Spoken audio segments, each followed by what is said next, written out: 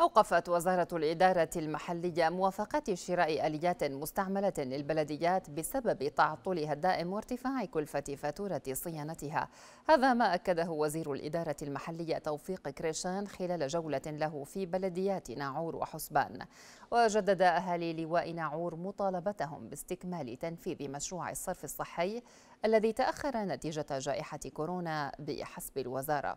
ولأن الشركة المنفذة للمشروع لم تتقيد بالمدد الزمنية وشروط العطاء طلب عضو مجلس محافظة العاصمة بسحب قيمة كفالة حسن التنفيذ التي ترفق وتودع في حساب وزارة المياه والري لشراء المعدات اللازمة لإتمام مراحل التنفيذ كاملة.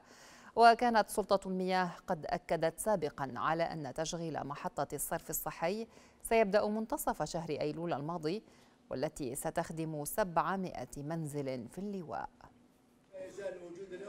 في موضوع الصرف الصحي في لون عور موضوع شائك فهو من عام 2018 جاهز للتنفيذ. وقمنا بمراجعة الوزارة بشكل شبه أسبوعي. ووعود كثيرة تطلق من الوزارة. وأنني أطالب معالي وزير المياه بإسالة الكفالة المالية الخاصة بالشركة الكورية وتنفيذ باقي المشروع من خلال الوزارة لأنه طال الأمد في هذا الموضوع.